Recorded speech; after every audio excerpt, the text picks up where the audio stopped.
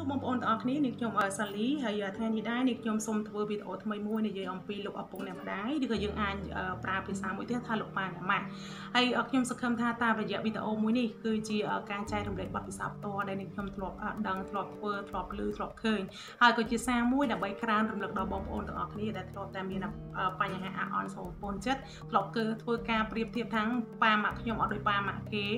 ហើយខ្ញុំក៏សង្ឃឹមថានឹងជួយបងប្អូនទាំងអស់គ្នាឲ្យសូមឲ្យគិតឡើងវិញថាតើយើងគួរតែបន្តអារម្មណ៍បែបហ្នឹងគឺឬក៏យើងគួរតែដោះស្រាយជាមួយលោកឪពុកអ្នកម្ដាយដោយការនិយាយដោយការចែករំលែកពីអារម្មណ៍របស់យើងសូមបើកចិត្តឲ្យទលាសូមព្យាយាមឲ្យបង្ហាញថាយើងធំហើយកុំឲ្យគាត់មានការបារម្ភហើយជាវាកុំឲ្យមានការយល់ច្រឡំហើយយើងបៀមអារម្មណ៍បន្ទុកវាធ្វើឲ្យយើងមានអារម្មណ៍កាន់តែ down ទៅមានអារម្មណ៍ថាកាន់តែធ្លាក់ទឹកចិត្តឡើងអញ្ចឹងអឺ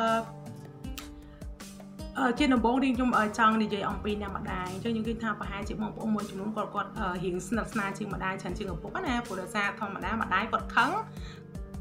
ម្ដាយខ្លះគាត់បានខឹងតែមួយតែប៉ុន្តែចិត្តគាត់នៅតែស្រឡាញ់គាត់គាត់នៅតែបង្ហាញអញ្ចឹងខ្ញុំជឿថាប្រហែលជាកូនមួយចំនួនគាត់មានតំណែងស្និទ្ធម្ដាយជាងឪពុកប៉ុន្តែយ៉ាងណាមិញនៅក្នុងនេះខ្ញុំចង់ប្រាប់បងប្អូនថា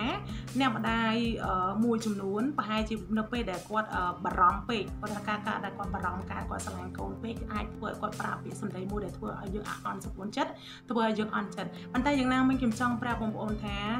លោកឪពុកអ្នកម្ដាយគាត់ធ្លាប់ឆ្លងកាត់បទពិសោធន៍ពីយុវវ័យខ្ញុំជឿថាប្រហែលគាត់ធ្លាប់ដឹងធ្លាប់ជួបធ្លាប់ឃើញបញ្ហាមួយចំនួនដែលពេលដែលម្លងពេលដែលគាត់នៅជាយុវវ័យណាអញ្ចឹងខ្ញុំគិតថាប្រហែលជាគាត់ខ្លាចគាត់អត់ចង់ឲ្យកូនរបស់គាត់នឹងជួបរឿងបែបហ្នឹងដូចគាត់គាត់អត់ចង់ឲ្យកូនរបស់គាត់ឆ្លងកាត់អាបញ្ហាហ្នឹងបារម្ភខ្លាចកូនដើរអត់ឆ្លងអត់ផុត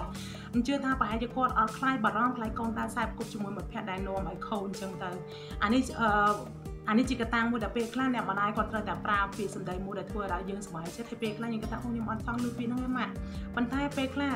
កលៈទេសៈនិងពេលវេលាហើយការឆ្លាញ់ពេកធ្វើឲ្យគាត់និយាយពាក្យហ្នឹងដែលធ្វើឲ្យយើងមានអារម្មណ៍ថាអន់ចិត្តប៉ុន្តែយ៉ាងណាមកខ្ញុំចង់បងប្អូនសម្លឹងថាតើអ្វីដែលគាត់ធ្វើនេះធ្វើក្នុងន័យដែលស្អប់យើងធ្វើក្នុងន័យដើម្បីតទាញយើងមកវិញដើម្បីឲ្យឲ្យយើងស្ដាប់គាត់ឬដើម្បីដែលតែឲ្យយើងឆ្ងាយអំពីគាត់ មួយវិញទៀតអឺអំពីលោកឪពុកអញ្ចឹងបញ្ជាក់ជូនបន្តិចប្រហែលជាបងប្អូនមួយចំនួនគាត់មានអារម្មណ៍ថាចេះបើប៉ុនប៉ាប៉ាខ្ញុំប្រើប្រាស់ពាក្យសម្ដីមើលទៅដូចជាអត់ស្និទ្ធជាមួយខ្ញុំប្រហែលជាគាត់អត់ស្រឡាញ់ខ្ញុំប្រហែលជាប៉ាខ្ញុំគាត់ គាត់អត់សូវចូលចិត្តការសម្រេចចិត្តរបស់ខ្ញុំអញ្ចឹងទៅទៅមានគ្រប់គ្រប់គ្រប់ការគិតតែម្ដងប៉ុន្តែអ្វីដែលខ្ញុំចង់ប្រាប់បងប្អូនលោកឪពុកអ្នកម្ដាយគាត់ស្រឡាញ់យើងក្តីស្រឡាញ់របស់គាត់ធំធេងអ្នកម្ដាយលះបង់ទាំងពេលវេលាលះបង់ទាំងស្នាមញញឹមលះបង់ទាំងកាយកាយដើម្បីយើងដើម្បីថែរក្សាយើងដើម្បីនាំយើងឲ្យឆ្ងាយពីការខុសលោកឪពុកក៏លះបង់ពេលវេលាកម្លាំងពលលាំងធ្វើការដើម្បីស្វែងរកជំនួយបន្ថែមឬក៏ស្វែងរកប្រាក់ដើម្បី support យើងទាំងអស់គ្នា support ទាំងគ្រួសារទាំងមូលអញ្ចឹងជារួមខ្ញុំចង់លើកទៅចិត្តបងប្អូនថាក្តីស្រឡាញ់របស់លោកទាំងពីរគឺធំធេងណាអត់មានអឺការការដែលនិយាយជាមួយយើងមិនមែនថាជន់បលិកោឬក៏បងអារម្មណ៍ឬក៏ការសម្រេចចិត្តរបស់យើងទេពេលខ្លះដោយការតែការអត់បាននិយាយគ្នាការអត់បានអំពីចៃរំលែកឬក៏អាចនិយាយថាពេលខ្លះការស្រឡាញ់របស់គាត់ធំធេងពេកធ្វើឲ្យគាត់ភ្លេចភ្លេចរហូតថាយើងធំហើយ យើងមានសមត្ថភាពហើយយើងរៀនចប់ហើយយើងអាចមានទស្សនៈខ្លួនឯងហើយហើយយើងក៏អាចបន្តក្តីសម័យរបស់យើងដែរអានេះជាការស្រឡាញ់របស់លោកឪពុកនៅម្ដាយរហូតអាចដល់ពេលខ្លះខ្ញុំអាចហ៊ាននិយាយថាបងប្អូនមួយចំនួនគាត់រៀបការហើយរៀបការដល់មានកូនមានចៅទៀតហើយប៉ុន្តែលោកឪពុកអ្នកម្ដាយនៅតែបារម្ភនៅតែស្រឡាញ់នៅតែសួរនាំដើម្បីអានេះអានេះអាចនិយាយថាជាក្តីស្រឡាញ់ជាក្តីស្រឡាញ់ធំធេងតែមិនអាចកាត់ថ្លៃបាន ហើយមួយវិញទៀតអានេះជាការមួយដែលខ្ញុំចង់ចែករំលែកអ្វីជាផ្ទាល់របស់ខ្ញុំខ្ញុំធ្លាប់មានការប្រៀបធៀបដែរចំពោះលោកឪពុករបស់ខ្ញុំ ខ្ញុំធ្លាប់មានការអន់ចិត្តតាំងហេតុអីបានជាលោកពុករបស់ខ្ញុំអត់ដូចពុកគេផ្សេងហេតុអីបានជាពុកខ្ញុំគាត់អត់យល់ចិត្តខ្ញុំហេតុអីបានជាខ្ញុំចង់ធ្វើនេះពុកគាត់ហាមឃាត់ហេតុអីបានជាខ្ញុំចង់ទៅនោះពុកហាមឃាត់ហេតុអីបានជាខ្ញុំដើរជាមួយមិត្តភ័ក្តិនេះប៉ាពុកខ្ញុំគាត់អត់សុខចិត្តគាត់ថាឲ្យពេលខ្លះខ្ញុំមានអារម្មណ៍មួយថាហេតុអីបានជាពុកអត់យល់ចិត្តខ្ញុំប៉ុន្តែអានេះជាជាជាអ្វីដែលជាជាស្ដែងដែលខ្ញុំបានជួបពេលខ្លះនៅពេលដែលនៅពេលដែលយើង ខឹងយើងអន់ចិត្តប្រហែលជាយើងអត់បានចម្លើយទេប៉ុន្តែនៅពេលដែលយើងអឺ ស្វែងយល់យូរយើងដឹងអំពីចិត្តគាត់មកយើងដឹងថាតាមពិតលោកឪពុកអ្នកម្ដាយក្តីស្រឡាញ់គាត់ធំដូចគ្នាជាពិសេសក៏លោកឪពុកលោកឪពុកស្រឡាញ់យើងធំប៉ុន្តែពេលខ្លះខ្ញុំគិតថាប្រហែលជាគាត់ជាបរិសុទ្ធគាត់ជាមនុស្សប្រុសណាអញ្ចឹងបើជាការនិយាយរបស់គាត់កាយវិការរបស់គាត់ជាមួយនឹងបងយើងប្រុសប្រុសឬក៏ក្មេងប្រុសគាត់ងាយស្រួលក្នុងការបញ្ចេញក្នុងការនិយាយប៉ុន្តែពេលខ្លះយើងជាស្រីអញ្ចឹងពេលខ្លះខ្ញុំជឿថាការបញ្ចេញយោបល់ការនិយាយរបស់គាត់ចំពោះយើងវាអត់វាអត់បាន100%ទេប៉ុន្តែនៃរបស់គាត់គឺដូចគ្នាគឺបង្ហាញអំពីក្តីស្រឡាញ់ការបារម្ភខ្លាចយើងដើរផ្លូវខុសខ្លាចយើងធ្វើអ្វីខុសខ្លាចយើងជួបបញ្ហាយើងអត់ចេះដោះស្រាយខ្លាចយើងបរាជ័យខ្លាចគ្រប់យ៉ាងព្រោះតែក្តីស្រឡាញ់របស់គាត់ទាំងពីរអូខេអញ្ចឹងជាន័យរួមខ្ញុំចង់ប្រាប់បងប្អូនថា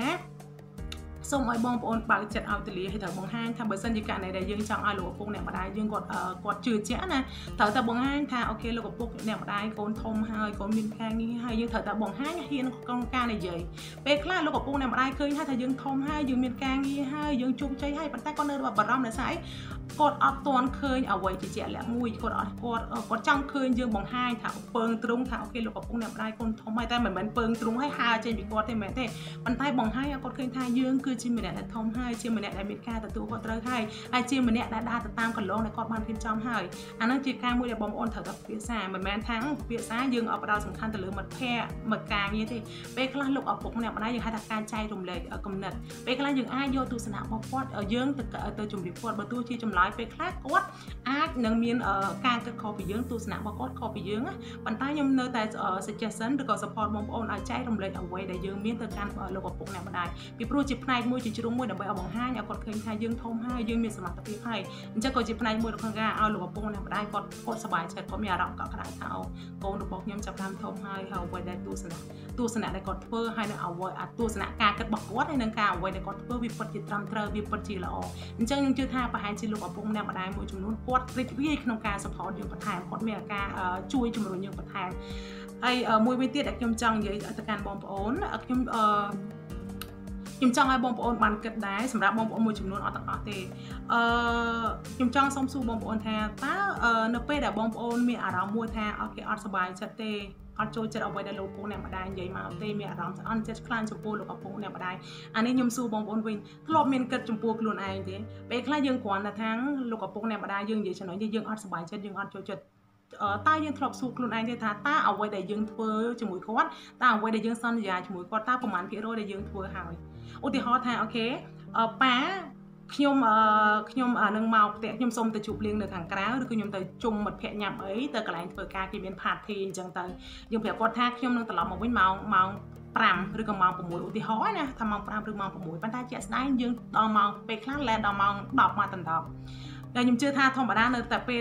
ដល់មកដល់ទៀតគឺមានគឺលោកឪពុកអ្នកបដៃគាត់គាត់សួរនាំគាត់ថាឲ្យទៅប៉ុន្តែអ្វីដែលខ្ញុំចង់លើកទៅចិត្តបងប្អូនសូមចាំថាអ្វីដែលគាត់ខឹងអ្វីដែលគាត់បន្ទោសអ្វីដែលគាត់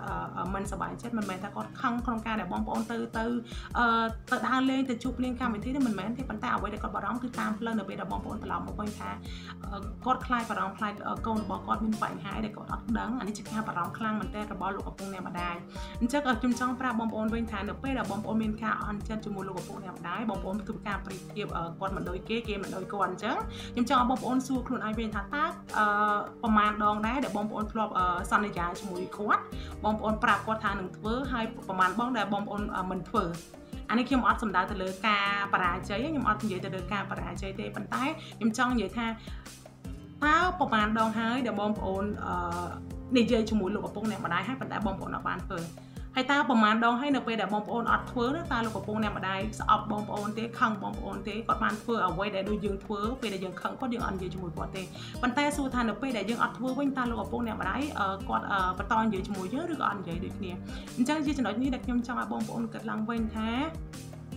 លោកឪពុកអ្នកម្ដាយគ្មាននរណាម្នាក់អូខេខ្ញុំអាចនិយាយចឹងតែម្ដងគ្មាននរណាម្នាក់ស្រឡាញ់យើងជាជាងលោកឪពុកអ្នកម្ដាយហើយគ្មាននរណាម្នាក់ដែលលះបង់អ្វីគ្រប់យ៉ាងដើម្បីយើង ជាជាងលោកឪពុកអ្នកម្ដាយយើងនោះទេពេលខ្លះកុំប្រាអារម្មណ៍ក្នុងការវិនិច្ឆ័យពេលខ្លះកុំដោយសារតែអ្វីដែលគាត់មិនព្រមតាមយើងឬក៏អ្វីដែលគាត់មិនយល់ស្របទៅតាមការគិតរបស់យើងមិនមែនថាគាត់មិនស្រឡាញ់យើងទេប៉ុន្តែពេលខ្លះការបារម្ភដូចខ្ញុំជម្រាបជូនបងប្អូនតាំងពីដើមអញ្ចឹងការស្រឡាញ់ធំពេកស្រឡាញ់រហូតដល់ភ្លេចខ្លួនថាកូនរបស់គាត់ធំហើយ ពេលវេលាលឿនណាបងប្អូនពេលខ្លះអឺពេលវេលាមកប្រព្រឹត្តគ្នាសោះយើងធំហើយយើងមានគ្រួសារយើងមានដល់កូនមានដល់ចៅអញ្ចឹងពេលវេលាវាលឿនរហូតដល់ពេលខ្លះធ្វើឲ្យលោកឪពុកអ្នកម្ដាយគាត់ភ្លេចខ្លួនថាកូនគាត់ធំហើយកូនគាត់មានសមត្ថភាពហើយកូនគាត់មានចៅមានអីទៀតហើយពេលខ្លះអាការស្រឡាញ់មួយនេះវាវាលក្ខណៈថាដឹកមុខគាត់បងប្អូនស្រឡាញ់បងប្អូនពេលស្រឡាញ់កូនពេលធ្វើឲ្យគាត់ភ្លេចដល់ចំណុចហ្នឹងប៉ុន្តែជាយ៉ាងណាមិញខ្ញុំសង្កេតថាខ្ញុំចង់ឲ្យបងប្អូនមុននឹងធ្វើឲ្យមានការអន់ចិត្តឬក៏ការមិនសប្បាយចិត្តចំពោះលោកឪពុកអ្នកម្ដាយខ្ញុំចង់ឲ្យបងប្អូនសួរខ្លួនឯងដូចគ្នាដែរថាតើប្រហែលបងហើយដែលបងប្អូនសន្យាថានឹងធ្វើដើម្បីពួកគាត់ហើយបែរជាអត់វិញហើយថាតើប្រហែលដងហើយដែលបងប្អូនអន់ចិត្តជាមួយពួកគាត់អត់និយាយជាមួយពួកគាត់ហើយតើប្រហែលដងហើយដែលបងប្អូនសន្យាជាមួយគាត់ធ្វើមិនបានហើយលោកឪពុកអ្នកម្ដាយបងប្អូនខឹងបងប្អូនអញ្ចឹងចង់បងប្អូនស្វែងរកដំណោះស្រាយកន្លែងហ្នឹងឬក៏អាចគិតគិតឡើងវិញថាតើ ចំណុចហ្នឹងយើងគួរតែកែប្រែឬក៏បន្តខឹងពួកគាត់អន់ចិត្តពួកគាត់គ្មានអ្វីដែលល្អជាជាងការចែករំលែកឬក៏ការបង្ហាញឲ្យគាត់ឃើញកុំប្រើត្រឹមតែការនិយាយប៉ុន្តែត្រូវបង្ហាញសកម្មភាពត្រូវបង្ហាញថាអ្នកជាមនុស្សដែលធំហើយអ្នកដែលជាជាមនុស្សដែលមានទទួលខុសការទទួលត្រូវហើយខុសត្រូវហើយអញ្ចឹងខ្ញុំជឿថានៅពេលដែលយើងធ្វើការទាំងអស់នេះហើយខ្ញុំជឿថា100%គឺពួកគាត់ support យើងហើយពួកគាត់ក៏សប្បាយចិត្តគាត់លែងស្ដីបន្ទោយើងទៅដែរអញ្ចឹងយើងក្នុងចិត្តយើងក៏ធូរដែរអញ្ចឹងលែងមានការអាអន់សពូនចិត្ត ការការពិភាក្សាការចែករំលែកវាភាសាជាការដែលយើងលាក់ទុកហើយយើងគិតតែម្នាក់ឯងធ្វើឲ្យខ្លួនយើងមានសម្ពាធហើយក៏សូមអរគុណបងប្អូនទាំងអស់គ្នាដែរហើយខ្ញុំសង្ឃឹមថាវីដេអូមួយនេះនឹងជួយដល់បងប្អូនទាំងអស់គ្នាជួបបងប្អូនទាំងអស់គ្នានៅវីដេអូក្រោយទៀត